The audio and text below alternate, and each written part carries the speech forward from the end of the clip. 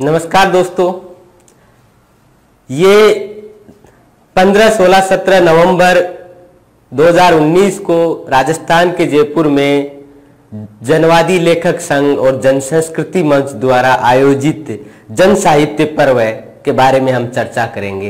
ये राजस्थान विश्वविद्यालय के देराश्री शिक्षक सदन में हो रहा है।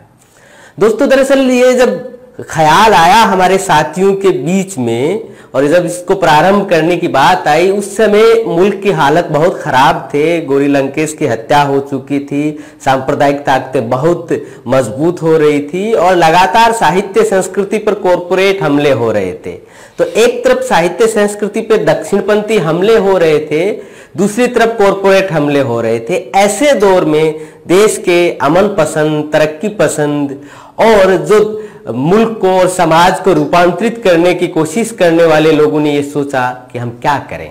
तो हमने ये सोचा कि हम बैठे, बात करें और एक संवाद को वापस समाज में स्थापित करें, जिसके माध्यम से एक रूपांतरकारी प्रक्रिया चलाई जा सके, जिसमें हम जनता के साथ लेखक भी जुड़े संस्कृति कर्मी भी जुड़े और जनता के सवालों का जवाब दें, उनसे सीखें, सिखाएँ और दोनों अपनी इस द्वंदात्मक प्रक्रिया से चेतना का विस्तार करें। तो पिछले साल जब ये आयोजन हुआ पहली बार तो यह तय किया गया कि यह प्रतिरोध की संस्कृति पर आयोजन होगा।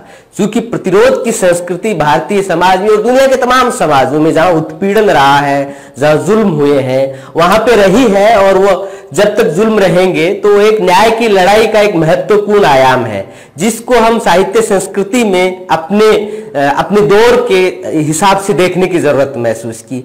और उसमें बहुत अप्रत्याशित लोगों के उत्साह और सहभागिता ने हमारी टीम का मनोबल बढ़ाया और देश के तमाम बौद्धिक लोगों ने सेकुलर लोगों ने और जनवादी लोगों ने उसको बहुत सराहा। इससे हम लोगों की उम्मीद बढ़ी और इस साल हम जलियावाला बाग की शहादत के सौ वर्ष मनाते हुए पिछले भारत ने पिछले सौ सालों में जो हासिल किया, जो खोया, पाया, जो टूटा, फूटा, बना, बिखरा भारत है, उस पर बातचीत करने के लिए हम इकट्ठे हो रहे हैं।